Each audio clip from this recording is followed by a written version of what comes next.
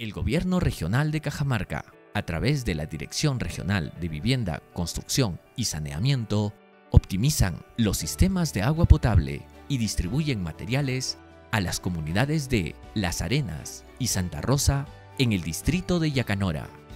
Estos proyectos, como ustedes bien saben, vienen desde el año pasado, eh, por motivos de cierre de año no se pudieron ejecutar en 2019 este año ya tuvo la programación para que se dé por según las normatividades y lo que establece las directivas del Ministerio de Salud. Estamos cumpliendo todos los proyectos en función a lo que dice, por ejemplo, desinfección, un plan de vigilancia, de control y prevención en el trabajo, los de todos los trabajadores que estén inmersos. Estamos cumpliendo todos los lineamientos.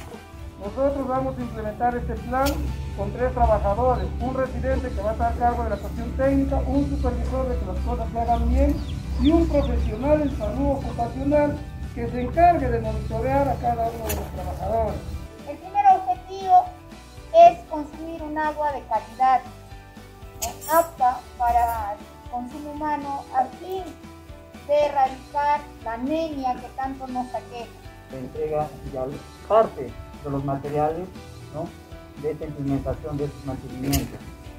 Ahora estará la entrega de lo que son las tuberías, todas las tuberías PVC, juntamente con las tapas sanitarias. Son, en esta iniciativa Agua Segura, son 12 proyectos que se van a intervenir en, en las diferentes localidades de diferentes distritos. ¿no?